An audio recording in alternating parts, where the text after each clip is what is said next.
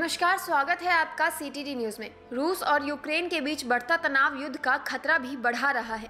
रूस ने यूक्रेन से लगने वाली अपनी सीमा पर बड़ी संख्या में बख्तरबंद हथियारों के साथ सैनिकों की तैनाती कर दी है, जिससे पूरे यूरोप में हाई अलर्ट जैसी स्थिति है। इस बीच जर्मनी की चांसलर एजेला मर्केल ने रूस के राष्ट्रपति व्लादिमीर पुतिन से कहा कि वो उन सैनिकों को पीछे हटा ले, जिन्हें यूक्रेन के साथ लगने वाली सीमा पर तैनात किया गया है। यूक्रेन के डोनबास क्षेत्र में रूस सेना की तैनाती बढ़ा रहा है।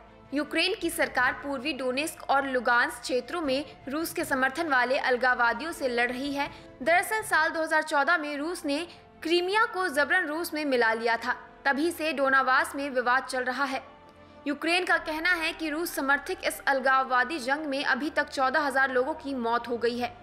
साल 2015 में युद्ध विराम के बावजूद यहाँ हिंसा बनी हुई है। साल 2021 में ही 24 सैनिकों ने अपनी जान गंवाई है। अब रूस ने मार्च की शुरुआत से सैनिकों की तैनाती बढ़ाना शुरू कर दिया है, जिससे युद्ध की आशंका बढ़ गई है। जर्मनी को दबाव देते हुए रूस ने यूक्रेन का नाम लेते हुए कहा कि वो उत्तेजक कार्रवाई कर रहा है, जिससे स्थिति बिगड़ रही है। वहीं गुरुवार को व्हाइट हाउस की प्रेस सचिव जैन साकी ने कहा कि अमेरिका ने रूसी सैनिकों की मूवमेंट को लेकर अपने नाटो के सहयोगियों से बात की है।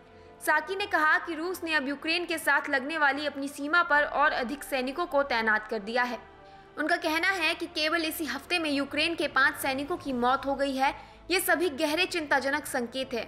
वहीं यूक्रेन के राष्ट्रपति ब्लामोदीर जेलेंसकी ने भी फ्रंट लाइन का दौरा किया है, जिसकी तस्वीरें जेलेंसकी के कार्यालय ने जारी की है। उन्होंने देश की रक्षा करने को लेकर सैनिकों को धन्यवाद कहा है।